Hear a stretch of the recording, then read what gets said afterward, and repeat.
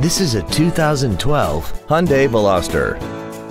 This car has a manual transmission and an inline four-cylinder engine. All of the following features are included. Heated side view mirrors, a low tire pressure indicator, an anti-lock braking system, aluminum wheels, alloy wheels, and brake assistance technology. We hope you found this video informative. Please contact us today.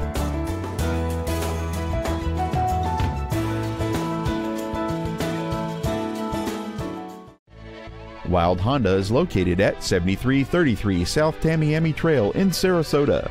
Also shop GoWildeHonda.com. It's got to be wild.